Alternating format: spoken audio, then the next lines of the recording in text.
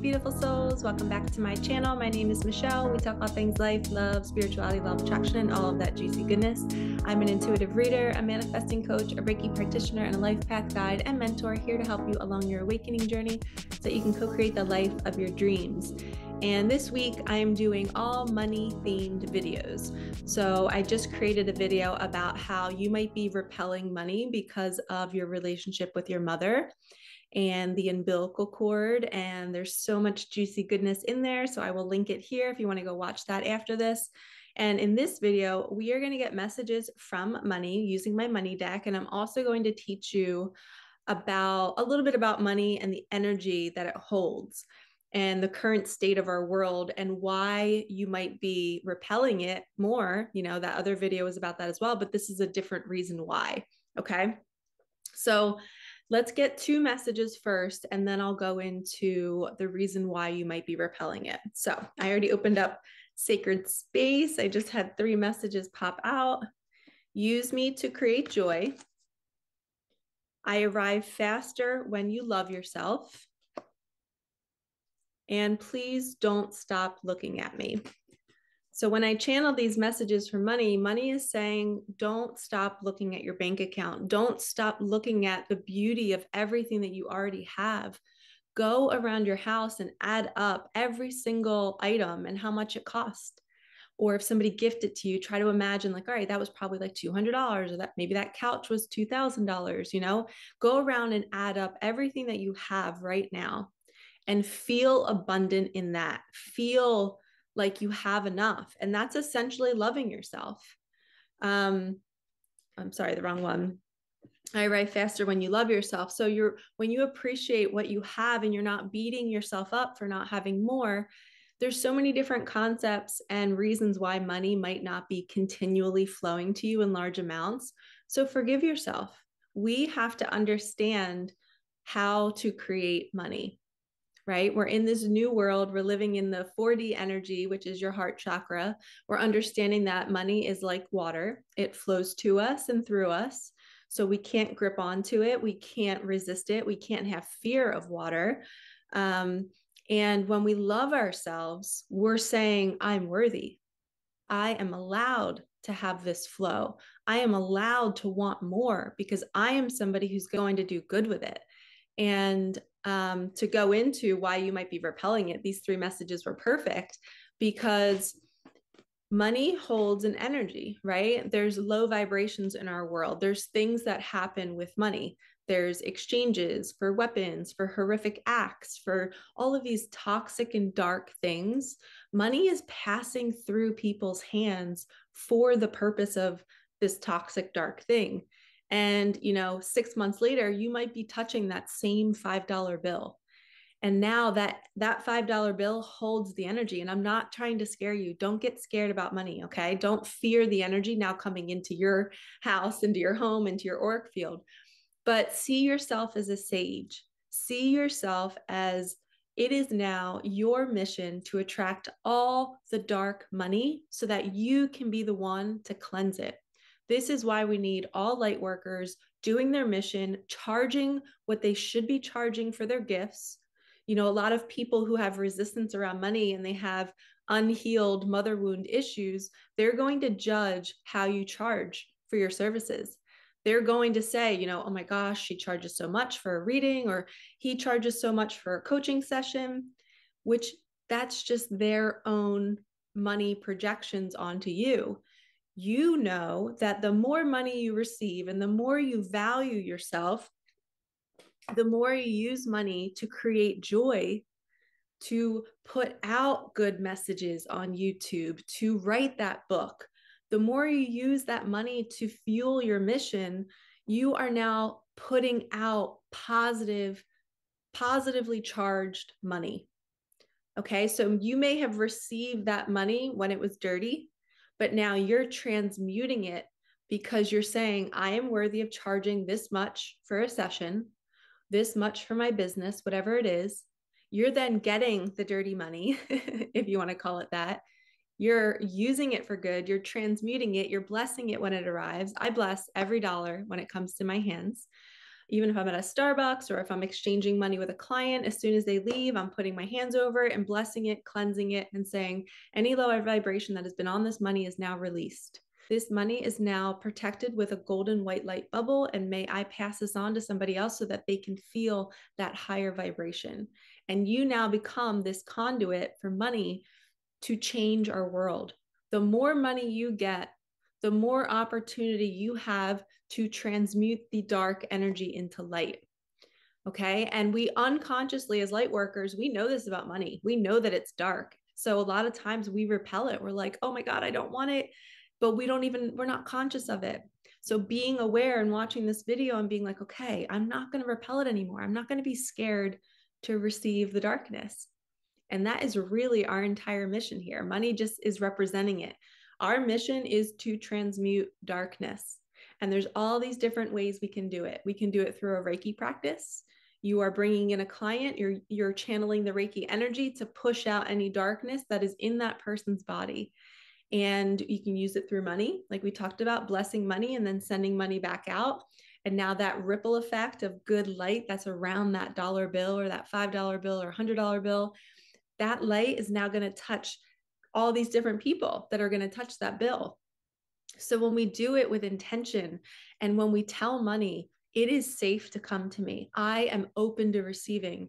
And when we heal our mother wound, which is the most important piece, because that's on an energetic level, whether your body is physically going to allow the money to come to you or not, definitely go watch that video because that is the number one reason why people repel money because their energy body is literally not feeling safe. So we have that. And then we have this we have this unconscious awareness that money's dirty and we don't want to touch it. So we have to suit up, we have to strengthen our cords, we have to strengthen our boundaries and say, I welcome the darkness because I'm going to alchemize it, I'm going to transmute it, I'm going to turn it into something that is so beautiful that our world needs. And you are worthy of receiving this. You're worthy of receiving money. So let's get more messages. I actually have two decks here. I have my Angels of Abundance deck. So we're going to use this one too. So the first three messages was don't stop looking at your money. You know, don't don't repel it because you think it's dirty unconsciously. Um, believe me, we do things so unconsciously. And you know, when you do things on a spiritual level, you're like, one time I I put my Jeep top on my Jeep at a random time. It was like in the middle of the afternoon. It was going to be sunny the rest of the day, but I just felt drawn to put the Jeep top on. I get a shower afterwards. I come out of the shower and there's like a torrential rainstorm that was not on the radar. And I was like, oh my gosh, I unconsciously put my Jeep top on. Like, how cool is that? Our angels and guides, this deck, your angels of abundance, they are guiding you. And you might not be looking at money because you're unconsciously knowing that the money's dirty. So we really need to strengthen our boundaries and take on this mission of changing the world by transmuting this dark energy and let's put all money out there that is good. And the reason why we need more light workers is because the more the light workers there are, the more we can overpower the dark workers. The dark workers are all of these businesses that are just out to make money for and doing it for all the wrong reasons and it's all greed and even like the TikTok community of just um, maybe they're putting out negativity and maybe they're exposing their bodies and they're getting all this money for it, like porn sites and stuff. Like, we need more light workers doing their mission to overpower that. And it's a shame because light workers don't think that they can make money using their gifts because they have that belief system that there's no place in the world for them. And we have to strengthen your boundaries and your cords and say, I am worthy. I'm going to step into my solar plexus energy and say, I'm allowed to take up space in this world.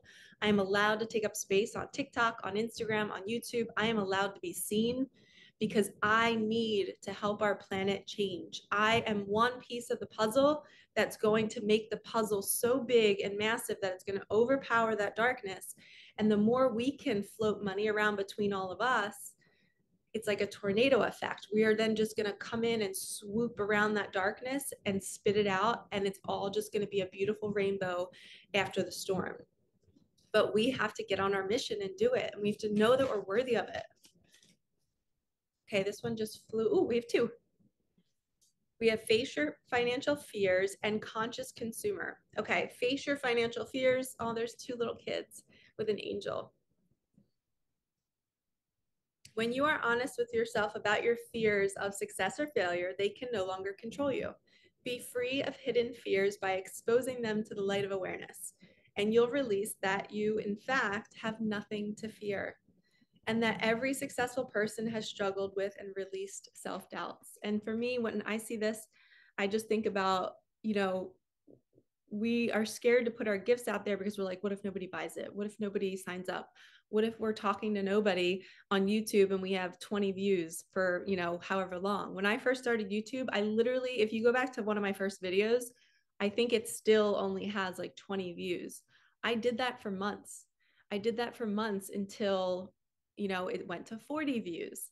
And then I still only had like 40 subscribers. And then in March, I think I started in January. And then in March, I like jumped up to 800 subscribers pretty quickly and started to get all these views. So I was consistent because it's what I love to do. So I didn't care about the views. I had, I, I had fear, but I didn't have fear. A little me was just like, a little part of me was just like, I'm just going to post it anyway. I don't care. If I'm helping 10 people, that feels good for me because it's actually fueling my soul to post these readings. And if 10 people are getting it, then that's 10 more people than if I didn't post it. So at least I'm affecting somebody. So when you are facing a fear of being successful at sharing your gifts, or maybe you fear failing and looking stupid and being cringeworthy, you got to push through that and just say, there's somebody out there waiting for you. You don't even know how many people are waiting for your message until you put yourself out there. Like I found all of you guys and you guys found me. But if I didn't, if I didn't consistently stay doing YouTube, even through the times where I was waking up on a Wednesday morning and being like, what's the point? It's been two months. There's only 20 views. This isn't going anywhere. This is confirmation that the universe doesn't want me to do this and I followed my joy. It brought me, I was excited to wake up the next morning. I was doing the morning messages. I would post it by 10 a.m. every day. And that's how my 10 a.m. post, that's the time I post all of my videos um, where I live. And it started because of that. And I've kept the 10 a.m. theme because it reminds me, it's like nostalgia. It's like, man, Michelle, you did it. Like you just kept doing it when there was no feedback, there was no great job, there was no money. I just did it because it made me feel good. And I loved channeling the messages and seeing what cards would pop up. And I know how much reading saved my life back then. So you have to chase your dreams and push away the fears and not worry if who's watching or how many likes you get. You just do it because it makes your heart feel good. And you know that if you're helping one person, then that's enough. It's one more person than it was yesterday. So face those fears. And then we have conscious consumer. You have the power to heal and help the world with your decision to buy only products and services that are ethical and environmentally friendly. How perfect is this? Your services are the ethical and environmentally friendly services. yes, this is talking about like foods and products and you know going green, but I see this as spirit confirming everything I just taught you guys. Everything I just said was about you honoring your gifts and feeling worthy to step through the fears just to share them. And it's your job to attract, this is an abundance deck. It's your job to attract abundance to you so that you can use it to fuel your gifts, your environmentally friendly gifts, and then you put it back out into the world. Let's see what else it says. As a conscious consumer, you choose to invest in fair trade and organic goods you live simply and you purchase only that which you need. So this is also like being mindful to not over extend yourself or splurge on certain things. Treat yourself, love yourself, but also have some boundaries, like tighten up the ship a little bit. You know, when you're doing a workout and you're like, all right, I could do maybe five more reps. Um, and then you kind of cop out and only do two. No, hold yourself accountable, do those extra reps. And when you're shopping, you know, hold yourself accountable and don't buy that extra thing if you really don't need it. If it's not going to expand you and make you a better person, if it's just going to feed an addiction or a habit, then don't buy it. Maybe say, all right, on Wednesday, I'll buy this. That way it gives you something to look forward to. Not that we need reward systems. I don't believe in that. I believe in freedom and that we don't need to say, I'm worthy of receiving this if I do that. I don't believe in that because we're always worthy of receiving at all times. But um, it is good to like kind of tighten things up because you have boundaries then. You're respecting money and you're not just throwing it away. Okay, let's do two final messages for money. This has been so good. And my belly is growling. I am hungry. You get more when you are happy. So this card is saying, money saying, raise your vibration. Do you even know like what are the things that make you happy? For me, it's taking a bath, going for a walk. Um, last night my niece texted me and she was like, Hey, can we hang out? And I was like, Yes. Um, so we went in my Jeep and we went and got Saladworks and then we got boba tea, those yummy drinks. And she, it was her idea. She's like, Can we just drive around and look at Christmas lights? And I'm like, I literally wanted to cry the whole drive because I felt so much love being shared between her and I. And she's 12. and there's just an energetic exchange between her and I where we just have fun. And I'm like, you know what? She's going to remember this when she's my age. When she's 40, she's going to remember calling up me and her aunt and me always saying yes and putting her first and you know giving her the space to dance and feel free to be herself in my jeep and and buying yummy food and there's just so much to be said for that and when you're in your joy when you're in your happiness which is what we were in yesterday that's when you create more money so money is telling you that when you are happy more of it will come to you and um, being with my niece is always a vibration lift. So who how can you figure out what like what things in your life bring you the most joy? And write it down and go to it often, especially when you feel like money is kind of in that drought phase. You need to go have fun. You need to get off the journey for a bit and go and laugh and sing and dance. Her and I walked around Target. We ended up doing a good deed and we got her older sister a Christmas gift and we had so much fun. And then we left Target and then she's like, Can we drive more? And I was like, Yes. And we went and got gas in my Jeep so that we could drive even longer. And she was my little DJ and we were singing and dancing. And it was just like, I was observing it and wanting to cry, and my vibration was just so elevated. And I'm like, I need to do this more often. I do it often, you know, I do it a lot, but I need to find more things that make me feel this way. And it's her energy you know it's our exchange of love that heightens it. So go to the people that you love so deeply and free yourself with them. Be free. Sing dance play create experiences that raise your vibration. You are so worthy of receiving so you get more of me when you are happy final message Let's see what comes through that one jumped out when you say yes to odd offers, that's me coming to you. so even though my niece was not an odd offer, but it was kind of out of the blue. I haven't like had a, a special date with her in like in like maybe three weeks or four weeks. So she jumped into my phone and said, Hey, can we hang out? It was an odd offer. Somebody was asking me to go somewhere. The universe is doing this, it's trying to pull you out of your normal routine to create space to raise your vibe and that's what this card is saying is when there's an odd offer coming in it might be leading you to a desire it might be leading you to something that's going to connect you with somebody else for a job offer or for more money so follow the breadcrumbs follow the lead all right lovies i feel complete. Do you feel complete?